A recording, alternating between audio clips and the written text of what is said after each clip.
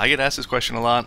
Uh, people want to know what's better, uh, joystick or throttle or mouse and keyboard. What do I actually use? So I, I figured I'd just go and talk through each of the different control aspects. For me personally, I use the mouse and keyboard along with rudder pedals and track IR. My mouse is a Logitech G9X. Keyboard is a Logitech something. Rudder pedals are CH Products pedals. Then I use uh, track IR 5.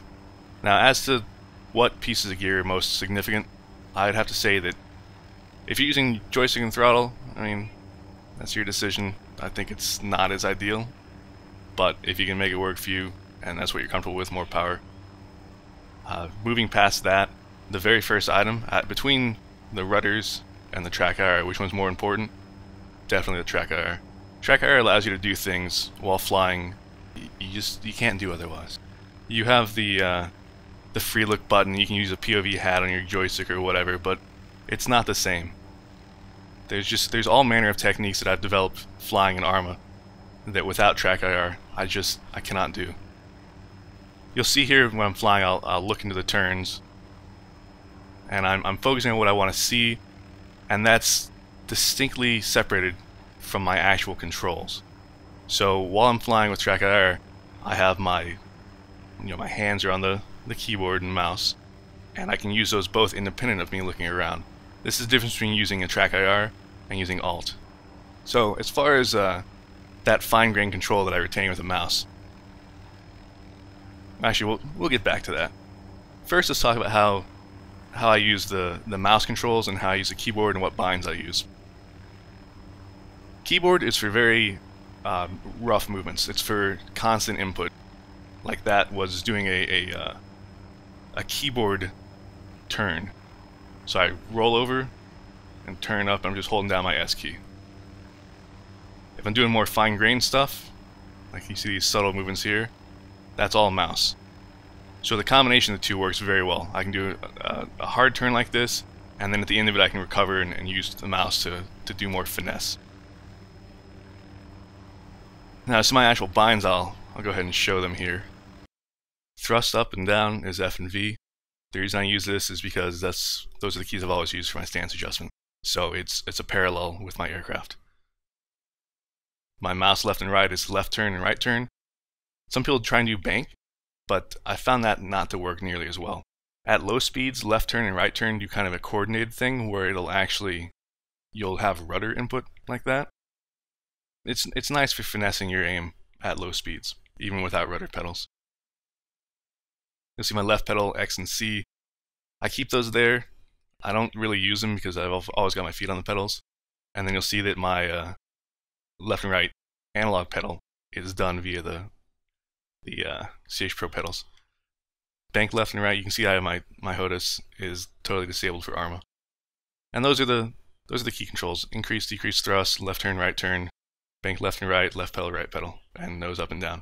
So it's it's basically standard except for those two things, uh, if I remember the default binds correctly. Then of course over here, it's important to have smoothing all the way down. So now, as far as the, we'll talk about the rudder briefly. The difference between, actually let's go, we'll go over yonder, do a quick little rudder demonstration where there's more stuff around us, so you can see. You can get by using just the, uh, the keyboard keys for rudder. It's just, it's not ideal.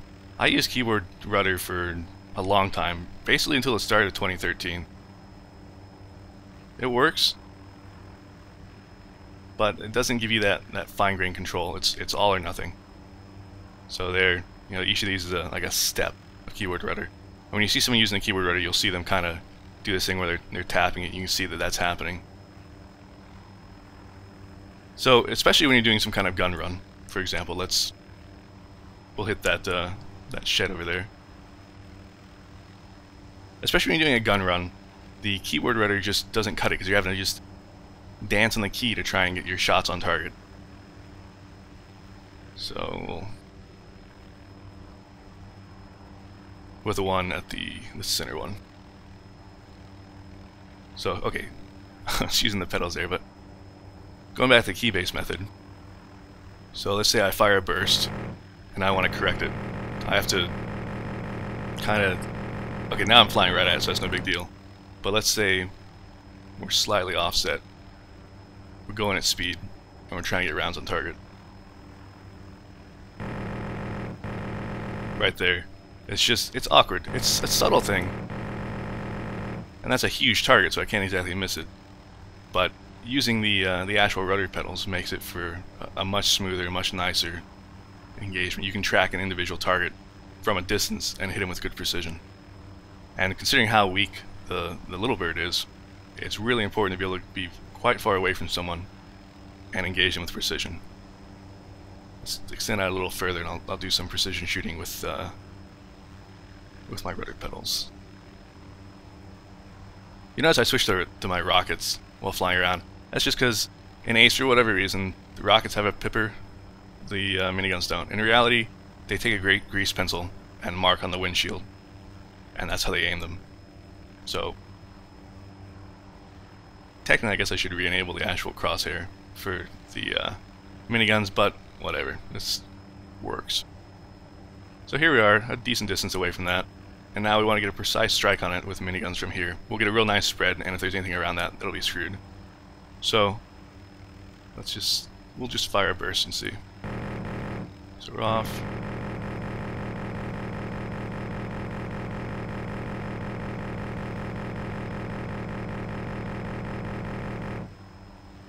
That's not bad.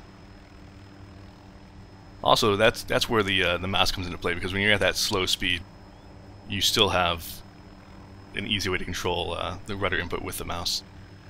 Let's get a little bit faster and see what, what happens. So we're setting up slightly off of it, and we'll rudder over.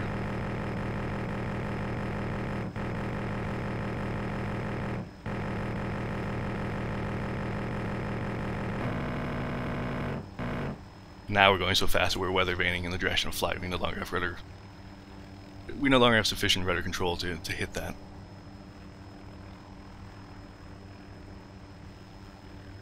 It's a subtle nuance. It's, it's hard to really demonstrate it. You kind of have to feel it. There's a real distinct difference for, for target engagement. But more significantly, there's a really significant difference when uh, doing any kind of flight maneuvers at low level or low speed. So a default turn, just a, a banking turn, is like this when you do when you have rudder, you use the rudder for large elements of turning. So I can be flying like this, kick my rudder over. Now I'm tilted or yawed slightly to my left, and as I decelerate, the yaw becomes greater and greater as the rudder gets more and more influence. And I can actually end up doing this really smooth turn right here. I'll go between the, the hangar and that building. Sideways, by the way. And that's possible to do because of the real fine-grained control that the rudder gives you. And actually, this little shed right here, we'll do a, a, loop around it. And this is extremely hard to pull off with just the just the uh, rudder keys. But it's very easy with the pedals.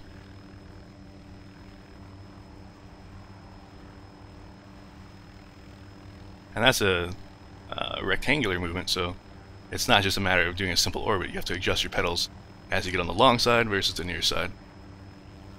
So. Rudder pedals let you do very flat turns. Like here. So I can do a, a very flat turn, come in and be facing into this little crevasse. And then very easily move laterally.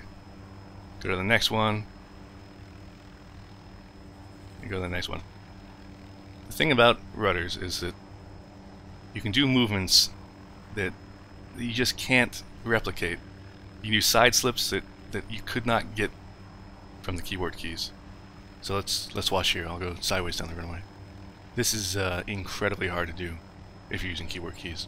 It's possible, but uh, it looks jerky and dumb. Whereas for me, with rudders, it's just a matter of finessing how much I'm doing left rudder to offset the uh, the tendency it has to roll or yaw to the right. You get up to a pretty good speed doing this. I don't think I have enough runway to get up to it, but... So here I'm using pitch up and down is moving me forward and back, and roll will accelerate and decelerate me. So there you go, that's... That's, uh, one usage of the rudder. Now, as to track IR usage, to get back on that, a lot of people try to tell you that, uh, basically, in my view, if you have the money for it, get it. If you don't have the money for it, and you have the, like a little bit less, try and get one of the uh, the alternatives and just try it out. See if you like the concept. It's worth working for. It's worth getting. It's it's just it's so significant. It's so important to good flight. Like that, that little maneuver, without track IR, you're not going to do that. You're not going to sit there and use your little... I mean, you have to do the fine-grained mouse or whatever controls for that to work. So, good luck. You know, track IR allows me to do this. I can look down at my feet as I'm flaring up for landing. I never lose sight of what I'm trying to land at. It allows me to look in a direction that I'm not flying. So now I can check over and say, okay, well that's clear. Turn into it and fly down there.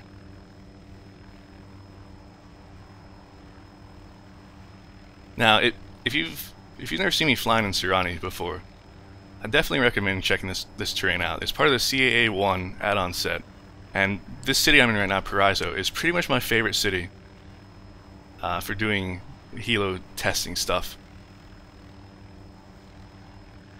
This is all me talking live while flying in this city, and if I fuck it up, like that, if I fuck it up, man, I will show you, because there is a degree of integrity that has to be maintained showing this kind of stuff.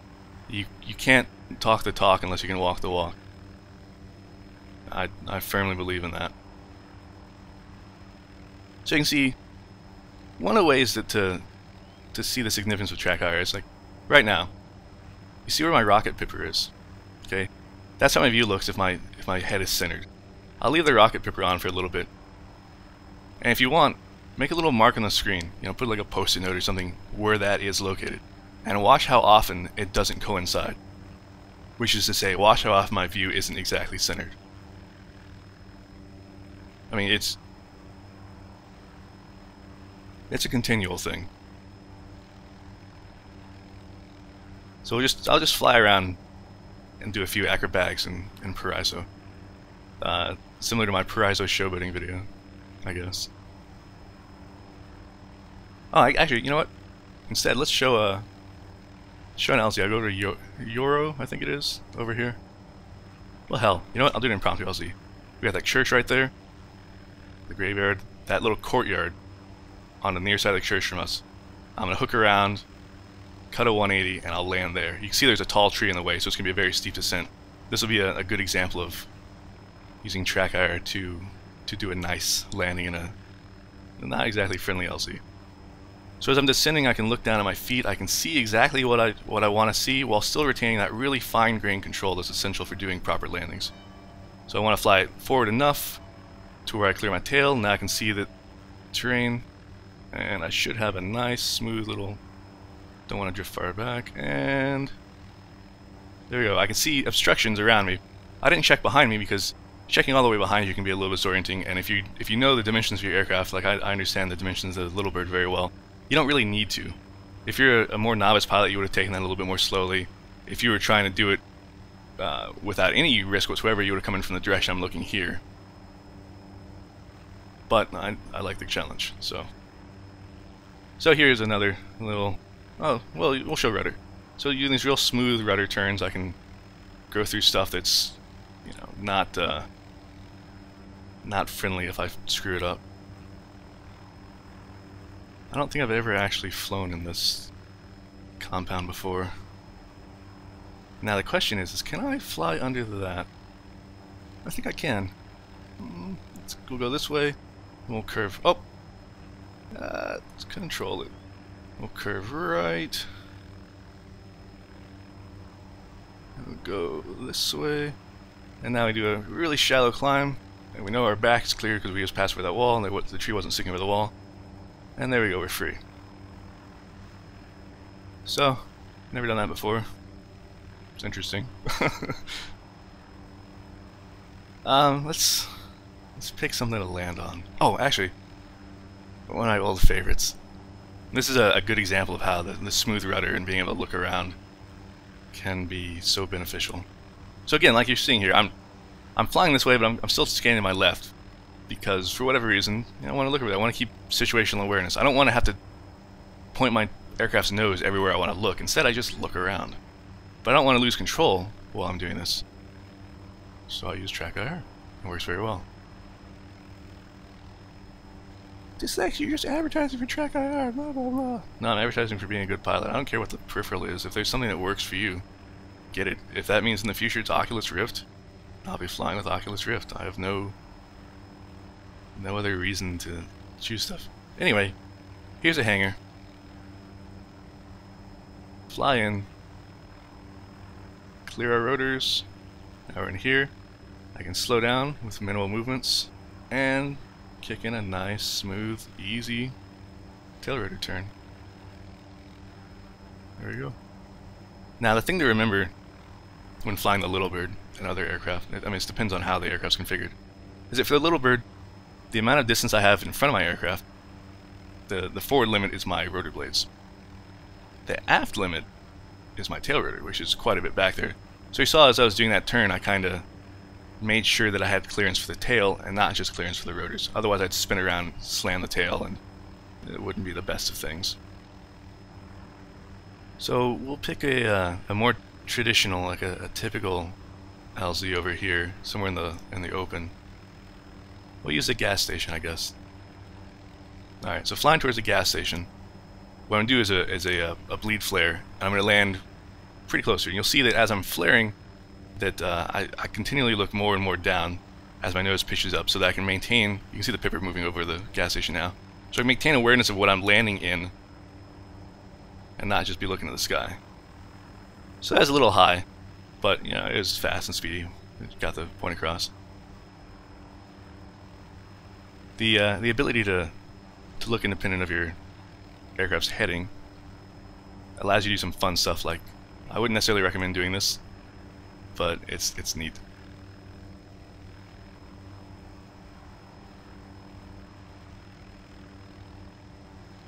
See? The whole time I'm looking at, the, at that side. We'll go back and, and this might cause me to crash, but let's see what that would look like. Or if even, even if I can do it with uh, track IR turned off. So we'll turn it off there. And turn it. It's funny because even though I just turn it off, I know I turn it off, I still move my head. Alright, so now we're fixed forward view. I don't know if I can do this. We'll see. Yeah, Jesus Christ. Okay, whew. so, I pulled that off. Track IR is back on. Now, some people might see that and say, oh, well, so what's the point? Well, the point is, is that that was scary as hell, and I had no idea if I was going to actually complete that, and the only reason I pulled it off is because I had the muscle memory from doing it seconds earlier. The other method, which I will show again, is so much superior because you're seeing what you're flying at. If someone popped out of that window suddenly while I was approaching it, God forbid, I could adapt to it. If it was, if I need to, you know, pull in steeper bank to do it, I could do it. And I can come to a nice, quick hover because I know exactly what my relative movement is to everything else. I don't know, I feel a little weird trying to convince someone who says that they're, they're an aspiring pilot that they need track IR. If you fly, if you pay attention to footage like this, there's really nothing to it. It's it's obvious.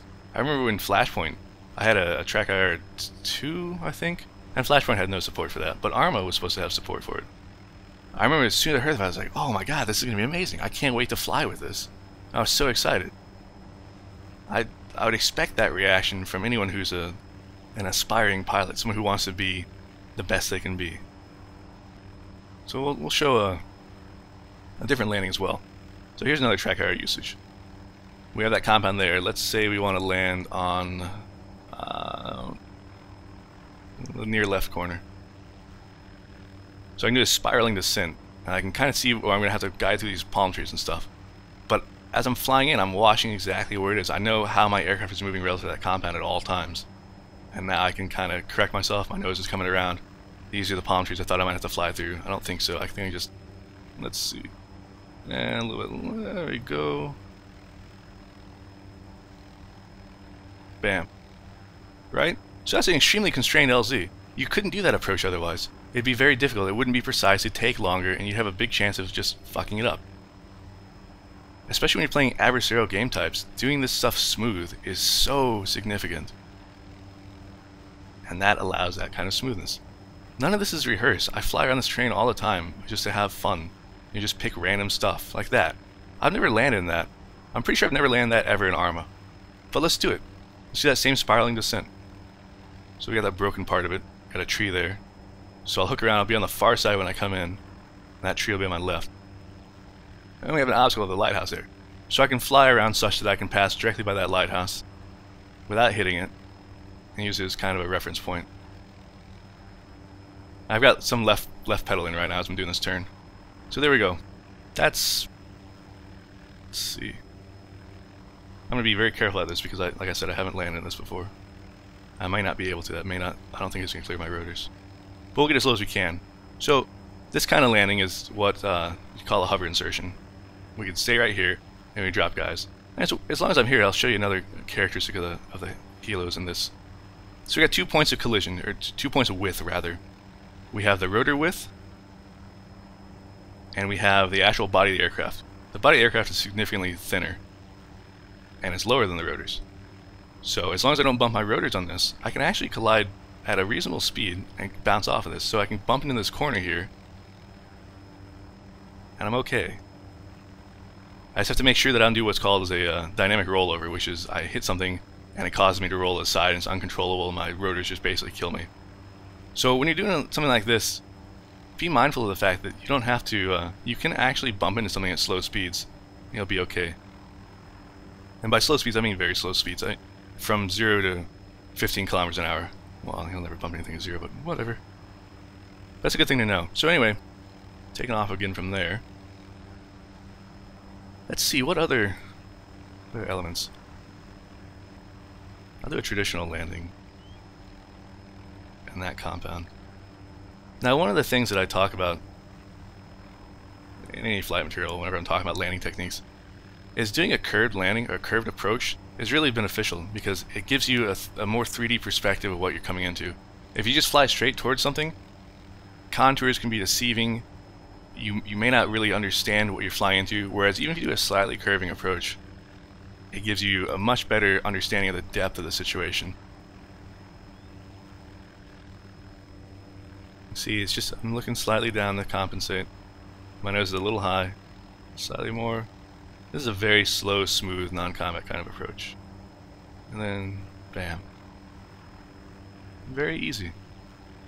But the point of it is, it's just, it's so much nicer being able to look exactly where you want to look at all times and not have to compromise anything else. It's your head sitting there why don't you use it to control something?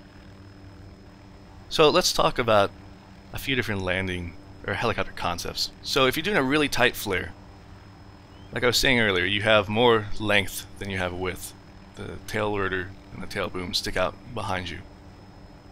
So if you come in really low and you're flaring back, you have to be mindful. You have to keep your altitude high enough to where if you do a sharp flare, you're not going to bump the tail rotor on the ground. So oftentimes you'll see me do this this very sharp flare, and I'll, I'll try and mimic it here before those trees up there. So, do a really sharp flare. And you see how I level out like that? That leveling out is essential. You cannot come into a landing while you're still in a flared state. If you go forward in a flared state, you're going to bump your tail rotor, and one or two things is going to happen, depending on your speed. Either one, you're going to fuck your engine and everything's going to be horrible, or two, you're going to outright explode the tail rotor, the tail mast, boom, whatever you want to call it, does not absorb shock in this. It's just uh, an extension of ways to die. We'll go look at Chernarus and show off an aspect of flight that's an interesting thing to know, and it's a good skill to have and to understand. Rotor diameter and the aircraft's hull are obviously different sizes. The height of the aircraft and the width of the aircraft are different so that's uh, however many meters wide right now. Now imagine we tilt that on its side. Let's say 45 degrees on its side. Suddenly it's quite a bit thinner, right? But the lift vector, which is directly above the aircraft, is now tilted over to its side as well. So if you just did a 45 degree roll, you would start descending towards the ground and, and bad things would happen. However, there's ways to, to put yourself in a rolling state and not go towards the ground. And that requires you being fast and, and basically turning in that direction as well. So the nicest way to illustrate this is over in, uh, what is this? Chernogorsk. So Chernogorsk has a, pretty much the most ideal demonstration of this possible. And we'll fly over there and, and kind of just show it off. Now, I'm not saying you should you should do this. There's no real combat application for doing this in the context of Chernogorsk. But this is something you need to know for the rare cases where you might have uh, a tree line or something where you need to stay real low altitude, you need to fly through a tree line, and there aren't any gaps that'll fit your, your aircraft when it's level. This requires a lot of practice. This requires a lot of judgment as to how large your aircraft is. So those two little smokestacks, if I fly those just right, I time this just right. There we go. So that's an example of something where I just, as far as I understand, I haven't actually tried it, but I'm pretty sure you can't fly through that otherwise. Let's check it and see. It looks like it, it could be wide enough, but I don't think so. Nah. You think? No, there's no way. But because I can rotate my aircraft, it's achievable. Now, well, I would, I would definitely recommend Sahrani for any of your acrobatic needs. Chernogorsk isn't so bad. It has some neat little obstacles. You'll see people fly through here a lot and do their little wow dude I passed under the bridge at like 400 miles an hour thing. Those, that one over there. Everyone seems to love. But you can get more interesting than that. It, it has a lot of low-level structures that you can fly through. Let's go find some of them. Like these, uh, these things here on the right side.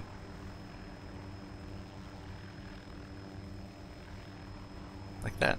That little gap.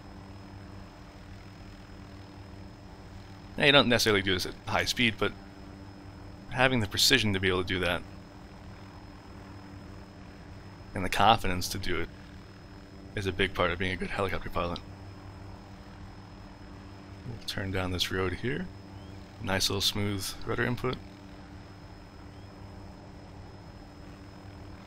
Right? Then, uh... I don't know, is there a way out on the other side? Let's find out. Be tricky. Maybe. I'm not sure. Hmm. I think if I come over to the left, my skids will clear that. And I should fit. Let's see. Yeah. Oh.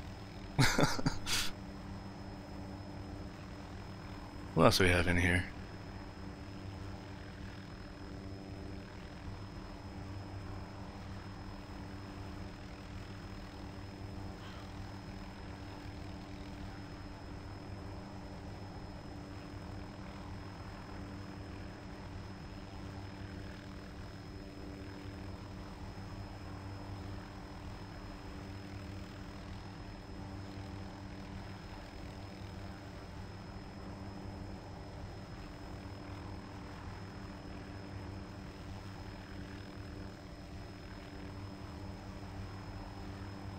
It's just a matter of having every part of your body working in concert to guide you through locations like this.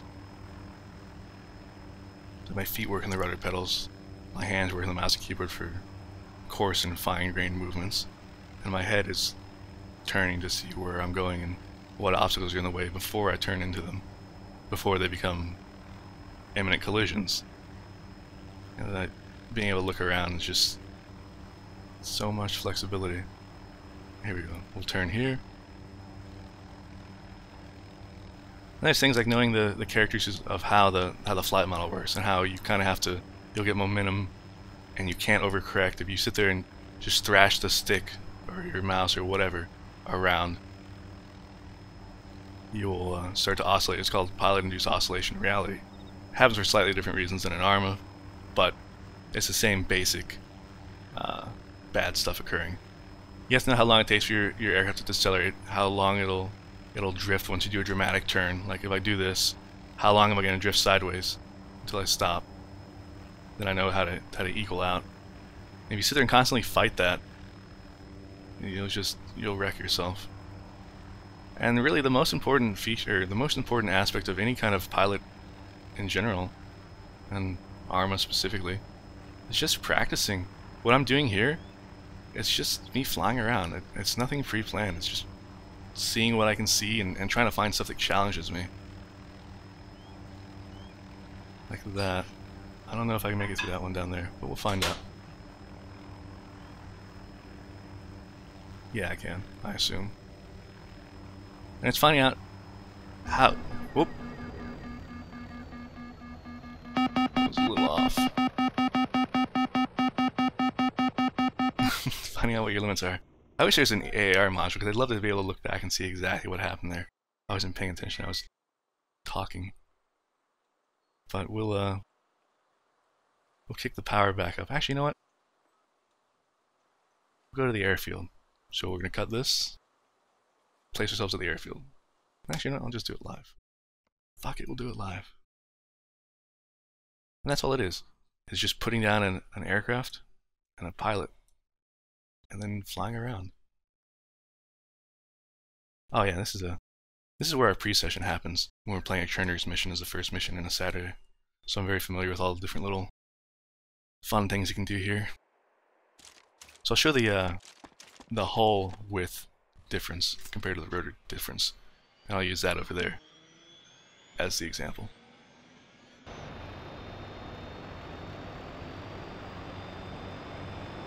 This has no practical purpose in this particular example area, but uh, it, it very clearly shows what I'm talking about.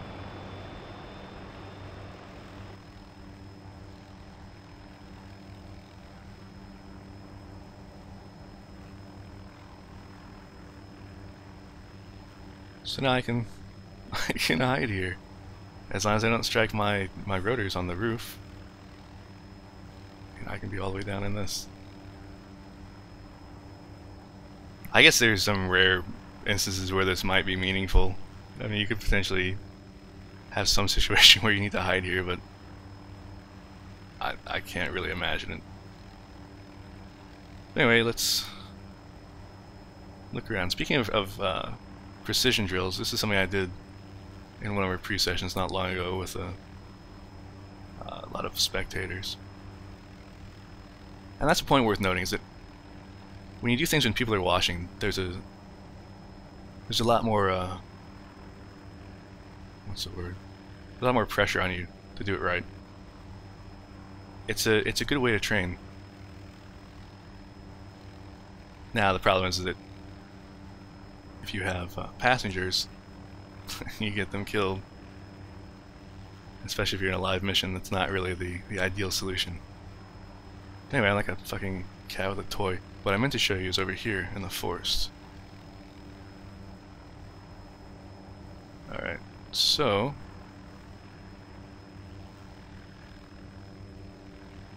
Question is, can you fly through this forest in a little bird? And the answer is yes. You just have to know exactly how big your rotor mast is. Rotor disc, whatever.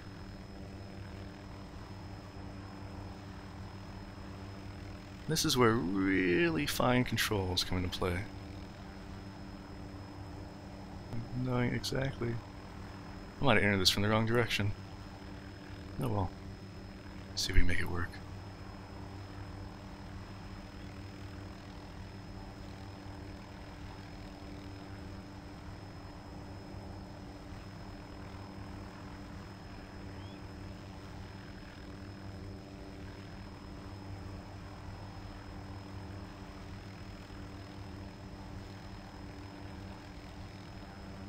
Let's see.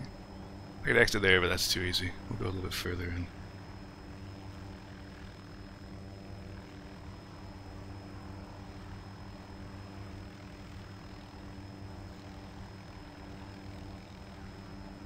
I could also exit there, but that's too easy as well. Now, the last time I did this, someone asked me if your rotors collide on trees. And the answer is, oh, you bet your ass they do. The funny thing is in Arma, uh, actually I guess this is nice because otherwise you just explode. At low speeds the, the rotor collision does not uh, completely destroy your blades. That's too narrow. I'm pretty sure it's too narrow. Try... What the hell, is that any better? I don't think so. Hmm. Might have to uh, back out. That that might work. Let's try that. It's gonna be tight. See, that that's what I'm talking about. You have to know to expect that. You'll hit your rotors, and as long as you move at really low speeds, it won't do anything. It'll just bump you around. Really, really low speeds. So we'll we'll call that a sign that it's not meant to be. And we'll exit the yonder direction.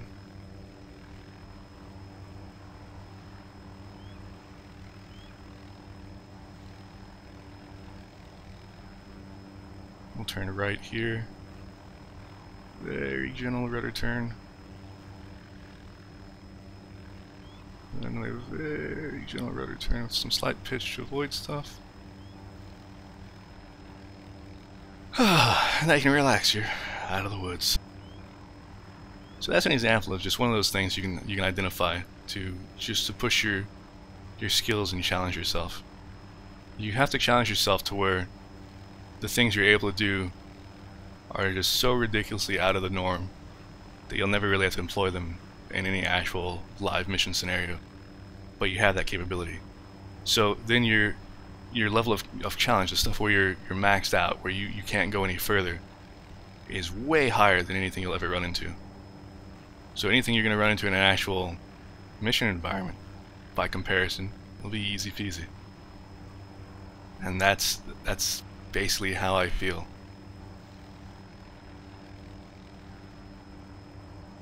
I can make all my LZs. I don't fuck up. And this is because I have just endlessly practiced and challenged myself and made things difficult and seen how far I can take this. And if you want to be a successful pilot, if you want to be someone that people are going to trust flying, that's the mindset you have to have. I don't want some half-ass guy who every other weekend tools around for a few minutes doing something easy and then accomplishes or pats himself on the back because hey he made an LZ and the editor with no fire and no threat and no time pressure at his leisure. That's no good to me. I want someone who can just at a moment's notice pull off pretty much the impossible. I want someone that when when someone's asking for extract and the people on the ground are like, oh, it's too hot for that. You, you can't land there. I want a pilot who's going to hear that and be like, you're wrong. I've done this. I've trained for this. I'm better than this. Unless they shoot me in the face, they're not going to stop me. I want that kind of mentality in a pilot, and I think everyone else should too.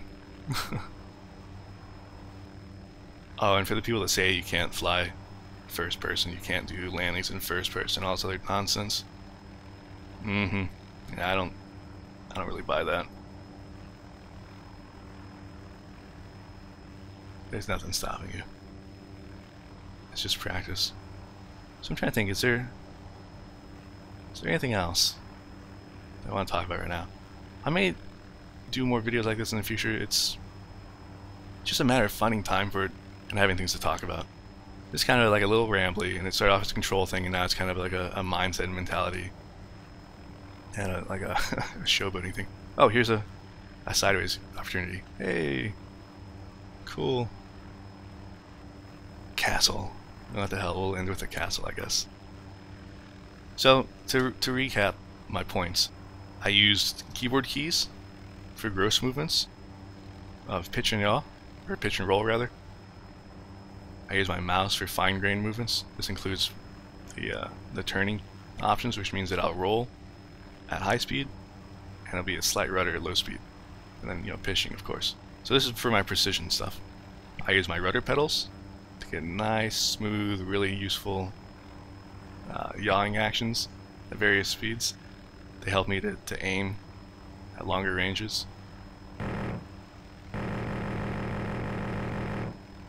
And they're fantastic for low speed maneuvering. They're great for turning. They're, they're just an integral part of how I fly now. And then like I been harping on quite a bit, I find track TrackIR absolutely essential and if you're flying without it and you're serious about flying, you're, you're doing it wrong. So I haven't flown around this castle in a while. I don't quite remember the inside. But what I'm going to do is orbit around like this. I'm intentionally not looking very much towards it. And then I'm going to pop up and just do an impromptu landing and we'll close it out there. So let's look. Pop. Uh, what's the most interesting place I can land? How about inside that fucked up building? I hope it has an landing on the other side. Yes, it does.